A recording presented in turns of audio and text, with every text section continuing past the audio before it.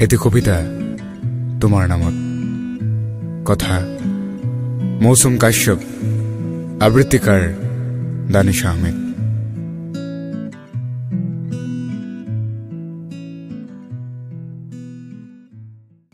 Valentine day বুলি নাই কোনো উৎসাহ নাই কোনো উদ্দীপনা। হৃদয়ত আছে মাথো এক বিষাদৰ বোজা। বিগত বৰ্ষৰ এই দিনটোতেই আঁতৰি গৈছিলা তুমি। অইনবাৰৰ নিচিনা এই বছৰো এই বিশেষ দিনটোৰ বাবে অধীৰ আগ্ৰহেৰে মই অপেক্ষা কৰিছিলোঁ তোমাৰ বাবে। কিন্তু কিন্তু ভবা নাছিলোঁ যে সেই দিনটোতেই মোৰ জীৱনলৈ নামি আহিব এক ঘোৰ অমানিশা। জানানে? তোমাক দিম বুলি এটি উপহাৰো কিনিছিলোঁ। কিন্তু কিন্তু তুমি দিবলৈ সুযোগেই নিদিলা।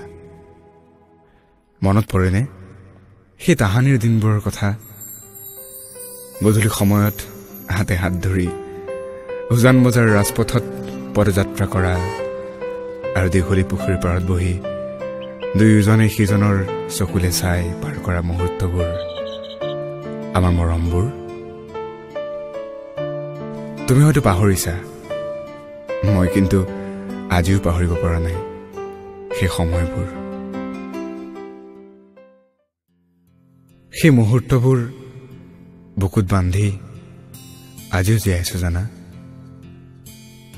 বিশ্বাস কৰা তথাপি মনত পুহি ৰাখিছো। এতিয়া আশা আৰু কিছুমান তৰা ফুলীয়া হেঁপাহ কিজানিবা তোমাক লগ পাৱেই কেতিয়াবা। হয়তো তোমাৰ কপালত তিৰবিৰাই থাকিব। এটি ৰাঙলী জোনাক। ভেলেণ্টাইন ডে বুলি নাই কোনো উৎসাহ নাই কোনো উদ্দীপনা। হৃদয়ত আছে মাথো ভালপোৱাৰ এক বিষাদৰ ধুমুহা।